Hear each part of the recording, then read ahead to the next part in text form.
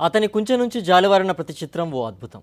అది ప్రకృతిని వర్ణించేదైనా గ్రామీణ వాతావరణాన్ని వ్యక్తీకరించేదేమైనా ఆయనకు ఆయనే సాటి. తన కళతో సృజనాత్మకమైన నైపుణ్యాన్ని ప్రదర్శిస్తూ గీసిన చిత్రాలు అబ్బురపరుస్తున్నాయి. ఒక్క మాటలో చెప్పాలంటే ఆ చిత్రాలను చూసేందుకు రెండు కళ్ళు చాలవు.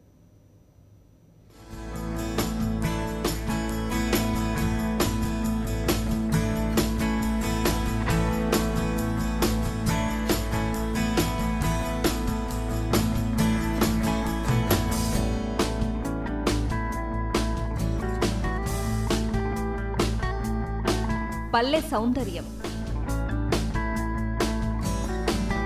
సమైక్య జీవనం.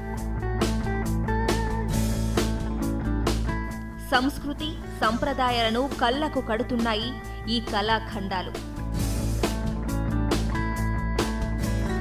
కెమెరా ఫోటోకు ఏమాత్రం తీసిపోని విధంగా ఉన్నాయి పెయింటింగ్స్.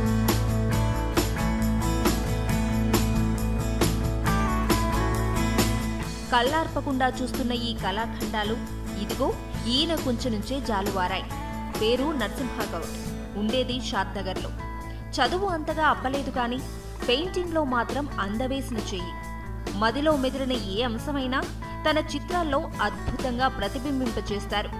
ఇంటి వద్ద పెద్ద మనుషులు ముచ్చటించుకోవటం జాతరలో సొప్పకట్టెల నీడన గిరిజన మహిళ ఒడిలో బాబును కూర్చోబెట్టుకుని పాలివ్వటం పక్కనే ఎద్దుల బండ్లకు దుప్పట్లు కట్టుకుని భోజనం చేస్తున్న చిత్రాలు పల్లె సంస్కృతిని చాటి చెప్తున్నాయి.